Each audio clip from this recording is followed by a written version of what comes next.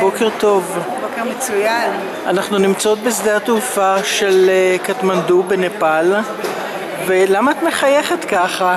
כי אני יודעת מה אני הולכת להגיד וזה לא משעשע אותי בכלל. אז תגידי, שהוויזה שלנו בכלל לא בתוקף. אז למה את מחייכת? כי אתם מרגיעות אותי, את ודני הרגעתם אותי, אבל אני התכוננתי לזה שאנחנו נישאר בנפאל ואתם תיסעו לבוטן בלעדינו. אה, אבל לכולנו זה לא בתוקף. לא, לא לכולנו. אה, לא לכולנו? לא. אה, אוקיי. את מבינה? זה רק לנו. אה, חשבתי שלכולנו זה לא בתוקף. אה, אז ועוד היית גם כן רגועה. כן, אני, חוץ מזה, וגם אם לא בתוקף, יטפלו בזה. זהו, אז אה, דני הבטיחה שלא לדאוג. וכשדני מבטיחה, היא מקיימת. דני, כל מה שבשליטתה. אה, את אה, אמרת למאיה שאת מבטיחה לה לא לדאוג? אני אמרתי.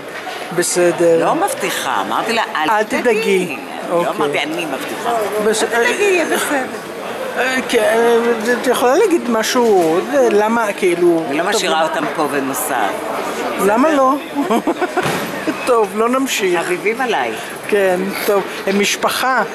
זה עזבי דם. משפחה. חביבים עליי. חביבים עלייך, זה בחירה. בסדר. משפחה זה לא בחירה. נכון. טוב, תודה רבה. ביי ביי.